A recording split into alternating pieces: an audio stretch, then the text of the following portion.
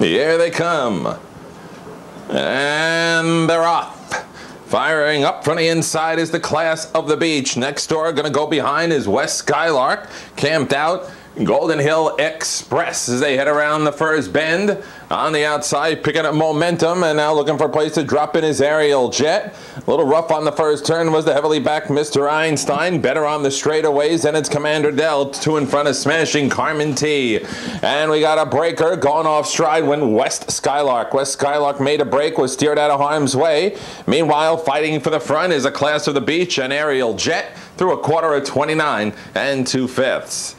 And it's aerial Jet. Paid heavy price to get the lead. Right now, about six to one. Class of the Beach right with him in second. It's a four lens back on the inside of Golden Hill Express. Then the one to five shot was pointed to the outside. Mr. Einstein.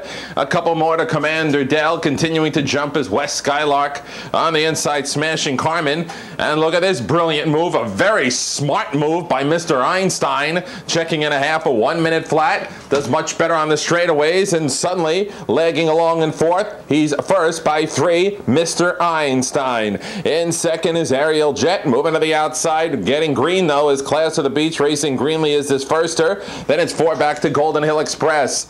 So one big whoosh and a swoosh, and Mr. Einstein, he's on his way, brilliantly powering away four. Ariel Jet is running out of fuel. On the inside, the Class of the Beach. Then it's the Golden Hill Express. Behind that one, smashing Carmen T three quarters and 129 and one.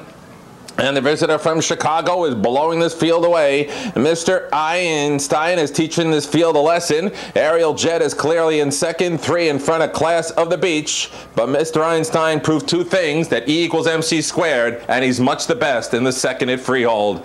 Staggering home for second will be Ariel Jet over Class of the Beach in 158 and 4.